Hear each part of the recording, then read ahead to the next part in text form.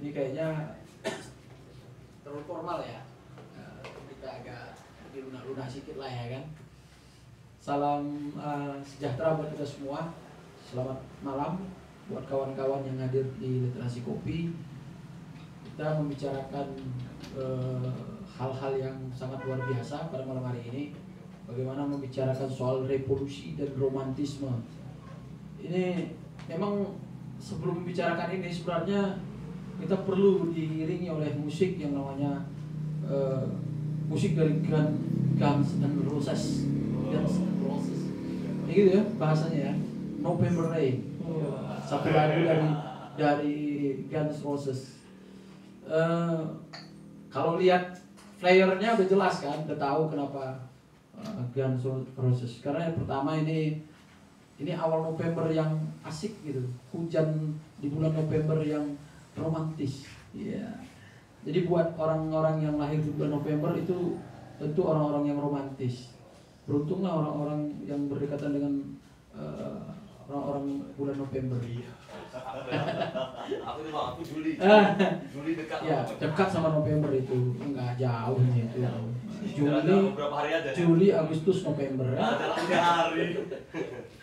Jadi kawan-kawan, terima kasih atas kehadirannya pada malam hari ini. Eh, jujur, ini sebuah todongan buat kawan kita. Eh, Sarmawi ya, Sarmawi Haitron. Nah, Haitronnya aku baru dengar nih.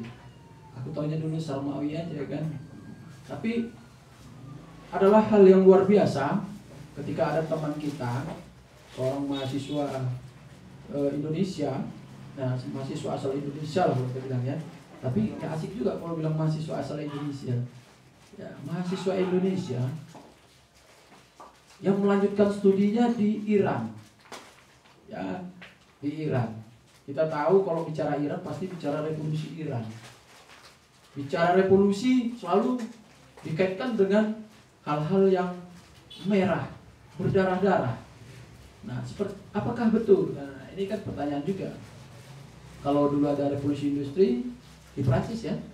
Nah di Prancis itu mengilhami para eh, penulis-penulis kita ya, termasuk juga persoalan-persoalan revolusi di luar itu mempengaruhi salah satu penulis besar Indonesia Pramudia Anantatur itu juga terinspirasi oleh revolusi di di Soviet kalau nggak salah.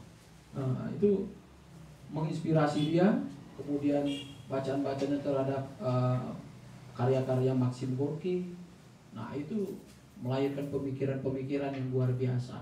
Nah, bagaimana pula revolusi di Iran itu menginspirasi orang-orang katakanlah bangsa-bangsa yang ada di Asia, di Asia, bahkan di Eropa gitu.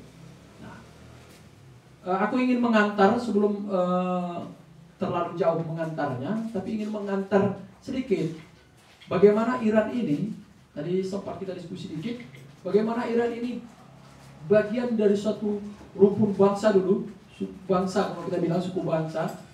Eh, kalau dibilang kalau ambil terminologi Ibnu asal ya sebuah suku yang besar. Terakhir, eh, Iran bagian dari Persia, termasuk Irak. Dan di masa itu, Persia itu sangat mempengaruhi para pemikir-pemikir besar yang ada di Eropa bahkan sampai ke Nusantara. Jadi kalau bicara sastra, nah nanti ya kita masuk situ. Nah, bicara pengaruhnya terhadap sastra, kita awali lagi bagaimana sastra di Arab dan Persia, salah satunya dari Iran, itu mempengaruhi perkembangan sastra di sini. Nah, eh, mengingat itu Jerman, Inggris, Prancis, kemudian ada gerakan ketimuran, gerakan ketimuran yang eh, oriental dulu, kemudian Goethe, Goethe ya, Wolfgang, ya Wolfgang Goethe kalau nggak salah, kayak gitu cara agak susah sebenarnya aku karena anti asing itu. Anti, asing jadi aku agak susah mengungkapkan pakai bahasa asing gitu kan. Eh, sama halnya kayak kita ini kan tadi persoalan on time itu karena kita anti asing kita tidak mau pakai sistem on time makanya agak pakai rundown ya agak rundown run berlari down ke bawah. Jadi berlari-lari ke bawah. Cara kita agak molor dikit, nggak apa-apa lah. Nah, itu istilah rundown. Nah, eh, kembali ke soal Persia tadi yang mempengaruhi, yang menginspirasi para para pengarang, termasuk Goethe, seorang sastrawan besar dari Jerman. Dialah yang mulai mengadopsi, ya, mulai menerjemahkan karya-karya besar dari dari Persia.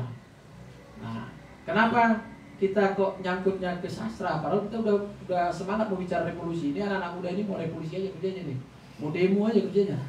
Nah, jadi kalau udah bicara revolusi semangat kali luar biasa. Nah, ini salah satu revolusi teknologi adalah, mohon maaf ya, ini ada telepon. Nah, halo, ya, ah, belum. Ya, kamu mau masuk hitungan mana? Indonesia apa Meksiko? Oh, ya. Oke, kalau gitu cepat. Ini acara lagi dimulai ya. Ah, revolusi mau digerakkan. Oke, ya. Makasih. Hmm, yuk. Nah, itu eh, mempengaruhi. Salah satunya dari Persia. Kemudian kenapa kita nyangkut masalah sastra? Nah, karena kemarin sempat kami diskusi, kayaknya asik itu bicara soal eh, sastra karena ini bicara kelembutan hati. Ini sebenarnya Wi, strategi menunggu eh, umat yang datang lagi ini. Ya, silakan Bang, masuk. Oke. Bagaimana salah satu kasanah yang sempat, pemikiran-pemikiran yang sempat bahkan yang dulu yang dulu menginspirasi bangsa-bangsa melalui sastra kesastraan ya melalui kesastraan. Jadi itulah satu pemikiran yang membuat eh, bangsa Eropa Jerman salah satunya melalui Goethe menyebarkan itu. Dia menerjemahkan karya-karya Sa'di Sarazi Hafiz kemudian eh, Faridudin Attar dan berbagai penulis lainnya. Nah itu eh, sekedar pengantar karena kita bicara tidak sekedar bicara revolusi di Iran, tapi bagaimana kaitan eh, revolusi yang ada di Iran mempengaruhi belahan dunia, kemudian tapi tetap menjaga nilai-nilai sastra, menjaga sastra, bahkan menyampaikan sesuatu dengan gaya sastra. Ini menarik. Kenapa sastra? Karena padahal judulnya romantisme. Karena orang-orang yang suka baca sastra itu orangnya yang romantis-romantis. Iya. Tapi benarkah seperti itu? Nah, baik kawan-kawan itu sekedar pengantar dari saya, ya.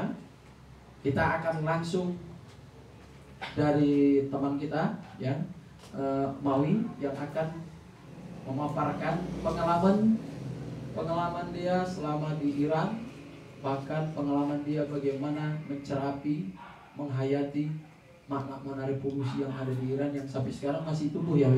Oke. Kemudian bagaimana eh, kaitannya dengan Indonesia dulu maupun saat ini. Oke. Kita beri aplaus dulu buat Mawi. Mana tepuk tangan kayak ini ya. Oke, lanjut nih.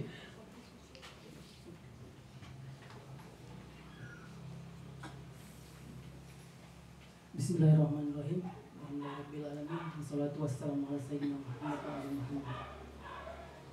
Eh, Selamat malam kepada kawan-kawan sekalian. Salam sejahtera bagi kita semua. Eh, Terima kasih kepada kawan-kawan literasi kopi dan Manjun yang telah memberikan waktunya pada saya untuk berdiskusi atau berbincang bersama kawan-kawan. Eh, Nama saya Sarmawi. Saya pernah eh, kuliah di sastra Inggris UISU, tapi tidak selesai sampai cuma semester 5 karena berhubung mendapatkan beasiswa ke Iran. Di Iran saya belajar dari nol, tidak tahu bahasa Persia, tidak tahu bahasa Arab. Dimulai dari eh, strata satu kembali dengan membawa ijazah SMA untuk mengulang strata satu di sana.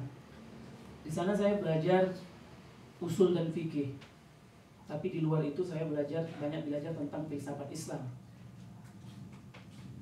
Kalau filsafat barat belum bisa banyak bicara, tapi kalau filsafat Islam bisa karena di sana eh, ada jenjang untuk mempelajari filsafat barat. Ketika dasarnya filsafat Islam diselesaikan, barulah nanti akan bicara tentang filsafat barat gitu. Eh, saya disuruh mengisi diskusi ini tentang judulnya revolusi dan romantisme. Eh, ada baiknya pertama itu adalah mendefinisikan apa yang dimaksud dengan revolusi dan apa yang dimaksud dengan romantisme. Secara bahasa revolusi adalah perubahan atau perger- pergerakan secara mendasar di setiap bidang. Itu di dalam kamus bahasa kamus besar bahasa Indonesia. Tetapi di dalam pemakaiannya sehari-hari di kehidupan di Indonesia ini makna ini telah berganti. Berganti yang dari yang sederhana itu menjadi khusus maknanya. Pertama begitu luas, sekarang begitu umum, eh, khusus, yaitu tentang eh, perubahan ketatanegaraan atau pemerintah atau eh, status sosial, keadaan sosial yang dilakukan secara masif, baik itu berupa penjatuhan penggulingan pemerintahan yang sebelumnya atau membentuk pemerintahan baru. Inilah yang disebut dengan revolusi secara istilah sekarang. Ketika orang bicara revolusi adalah pergantian pemerintahan. Eh, dan yang kedua adalah tentang romantisme. Romantisme sendiri berasal dari kata romantik, romantis. Romantis adalah perilaku atau kata yang bisa membuat lawan jenis. Biasanya kata yang romantis itu kan tidak ada mungkin kita kepada sesama jenis bilang kata-katamu sikapmu sangat romantis gitu. Enggak. Itu hanya untuk dilakukan kepada lawan jenis kita. Gitu. Baik berupa sikap yang sangat romantis dengan memberikan hadiah misalnya atau dengan kata-kata yang sangat menggoda gitu. Atau puisi, memberikan puisi, membuat puisi. Itu